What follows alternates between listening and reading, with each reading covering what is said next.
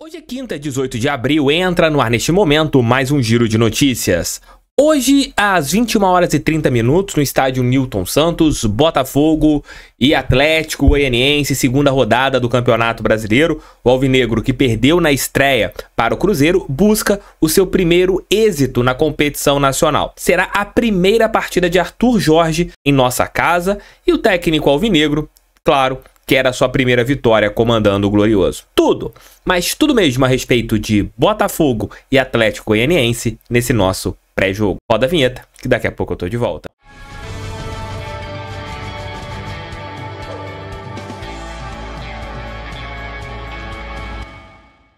Hoje, às 21 horas e 30 minutos, no estádio Newton Santos, Botafogo e Atlético Goianiense. O Alvinegro que perdeu na estreia da competição nacional para a equipe do Cruzeiro no estádio do Mineirão, hoje, e no Newton Santos, quer a sua primeira vitória para ficar no bolo do campeonato nacional. O Atlético Goianiense, que na sua estreia acabou perdendo para o Flamengo por 2 a 1 mas mostrou um bom futebol e daqui a pouco o Léo Dantas vai trazer todos os detalhes da equipe goiana. Não foi divulgado na noite de ontem a lista dos relacionados, mas o Botafogo tem ali algumas possibilidades de novidade. Pablo, relacionado pela primeira vez, pode ser aproveitado na equipe titular ainda não jogou, não tem minutos dentro de campo, mas está 100% recuperado e vem treinando com seus companheiros. Não dá para a gente cravar qual time entrará em campo, mas dá para a gente ter uma ideia. O esquema 4-4-2 com quatro atacantes, né, os dois ponteiros e mais os dois atacantes, deve continuar ou o técnico vai fazer algumas substituições?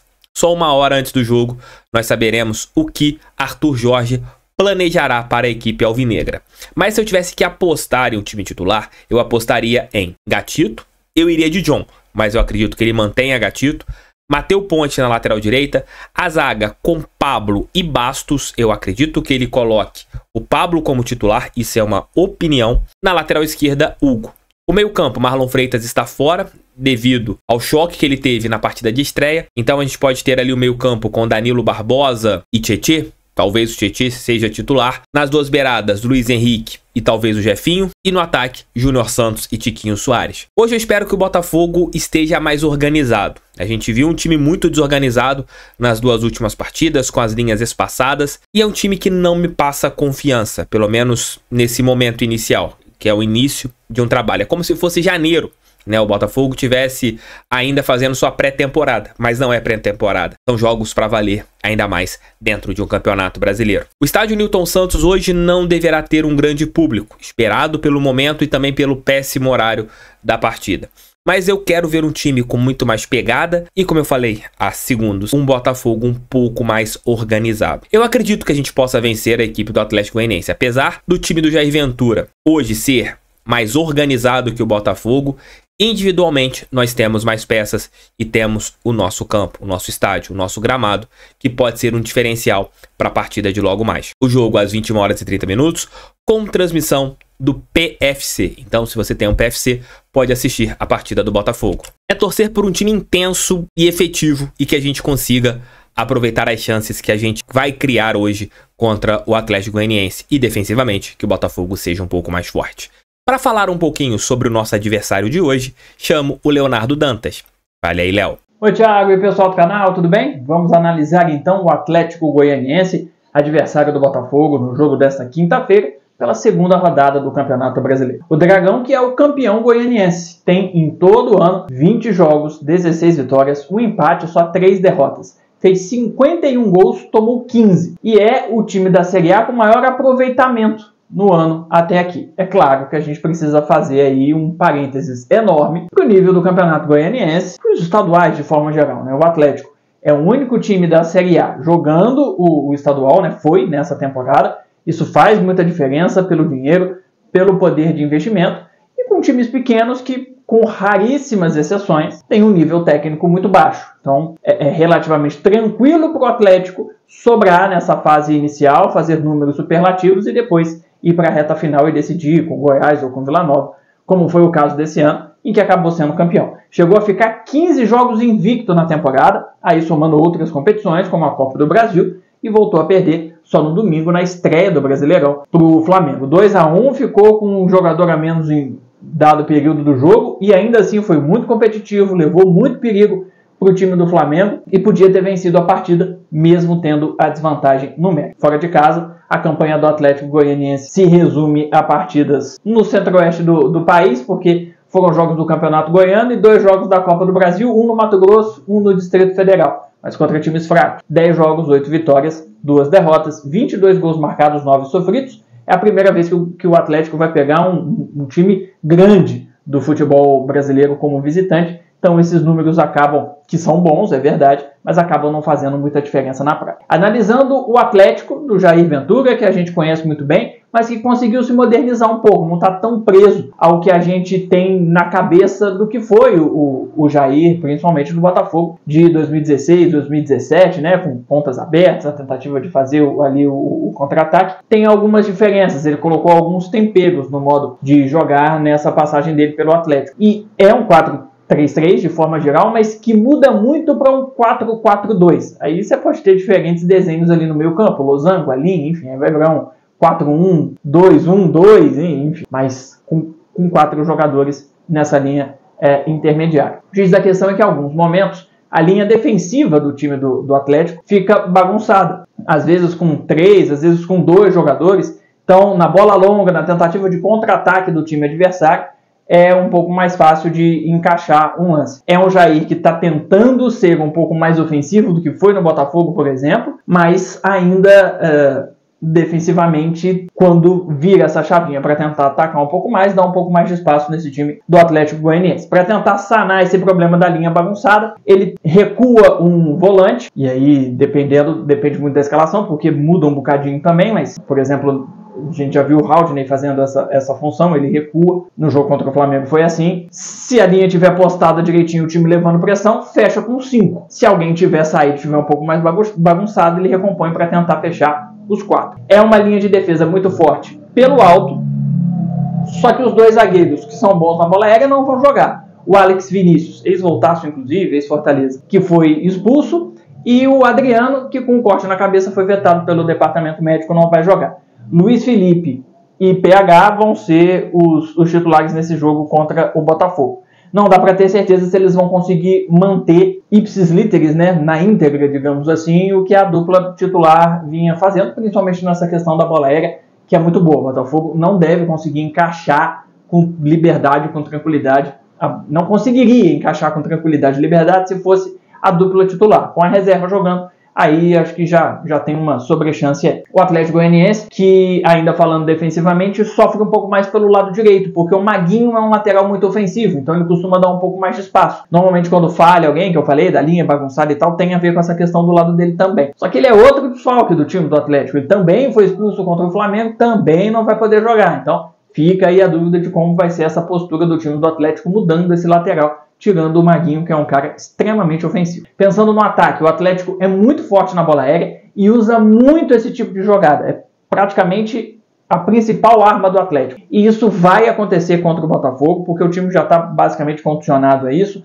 A gente tem o Alejo fazendo bons cruzamentos, o Shailon fazendo bons, bons cruzamentos, tem o Maguinho que não vai jogar também, é muito bom nesse tipo de quesito. E essa bola aérea, vejam só, ela normalmente vai pro, Lu, pro Luiz Fernando. Lembra do Luiz Fernando? O Choquito, ele mesmo. É o grande nome do Atlético nessa temporada, artilheiro da equipe, 12 gols. Ele não é mais só aquele ponta direita, aquele cara, como a gente viu boa parte na caminhada do Botafogo, um pouco mais aberto pelo lado direito, que tenta ou na velocidade ou na jogada individual cortar para dentro, fazendo ali a, a, diagonal. Ele ainda faz isso, mas é que em boa parte do, do jogo o Atlético, lembra que eu falei da variação? O Atlético Goianiense fica com dois atacantes. Então ele faz uma dupla de ataque com o M. Rodrigues. São dois caras que conseguem se movimentar, confundir a defesa adversária, carregar a zaga e, e abrir alguns espaços ali para companheiros. Luiz Fernando tem sido um cara muito importante por baixo, mas também por cima nessa bola aérea, que é muito forte. Quando ele joga aberto pelo lado é, direito,